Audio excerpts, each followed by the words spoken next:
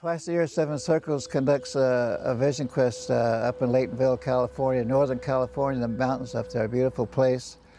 And the vision quest is uh, where you go up on the uh, on the mountain. They say up the hill quite often. You go on a four-day uh, fast of food, no food, no water, and uh, it's uh, allows you to be in tune with Mother Nature because you're out there in the woods on the mountain, and you're just there by yourself with no uh, other other than the creatures that uh, that uh, own the hill, and so it's a very beautiful ceremony. And people come down. The women come floating down like they're angels, and the men come down after four days in water, no no food and water, come down looking really ragged.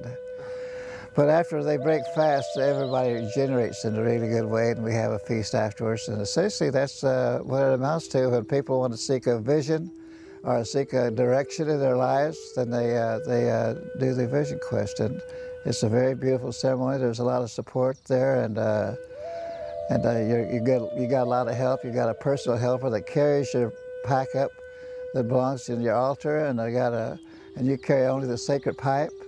The, first day, we'll, uh, we'll, when we get there, we'll set you down and we'll make sure you got everything ready for your altar and make sure you got an eagle feather for the waluta. They call it waluta. Uh, this is a word that says this is for the people. You're doing it not only for yourself, but for the, all the people.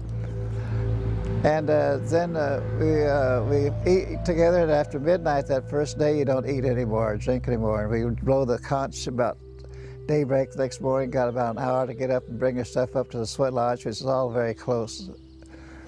And uh, then we uh, uh, ask you why you want to do the Vision Quest, and uh, so the base camp will be a part uh, part of your uh, Vision Quest. And then we load the sacred pipes, and then we go in the sweat lodge for just one round, one round, dusting off rounds, seven stones, and one song and a prayer and a song, and you're out. Then you get all lined up, getting ready to go up the hill. So we'll break the uh, path going up the uh, up the hill with the song, and then usually uh, there's a baby up there.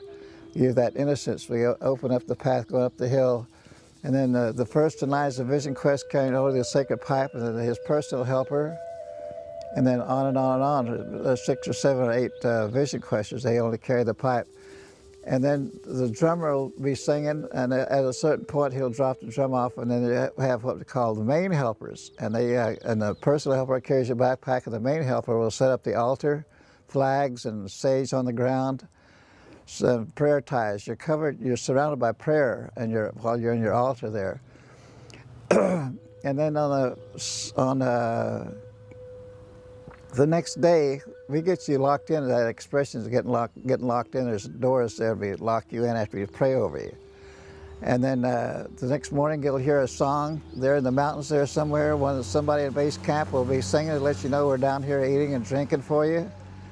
And at uh, before noon or a little after in that area, time of day, we'll be checking on you with binoculars. And once you see you move, you're okay. And that's the, the that's the second second day. And then the third day, you'll hear the drum and you'll be checked on again.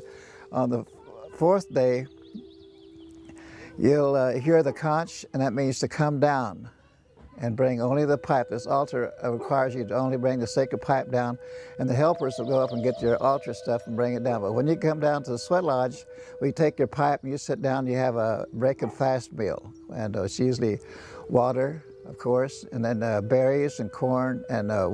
It's a buffalo mix of pine nuts and uh, white raisins, and that's how you break your fast. Then you go into the sweat lodge for one, one round. Before you go into the sweat lodge, though, you circle up after you've get, gotten uh, regrouped by eating and drinking you share a high, one experience, a highlight uh, uh, of your experience up there. So base camp will be a part of your vision quest like that. And then you go in and you, you get sweated off one round, song and a prayer and a song, and then we have a feast. And then everybody uh, has a giveaway. We'll circle up and have a giveaway. We have a giveaway with every ceremony. And uh, because we receive something good, we want to honor that uh, feeling good, and we so we give uh, have a giveaway. So we'll have the giveaway, and then then uh, everybody uh, will feast. The feast comes after the giveaway, and everybody goes home. And you're welcome to stay there, get there early, a couple days early, and stay behind a couple days if you want.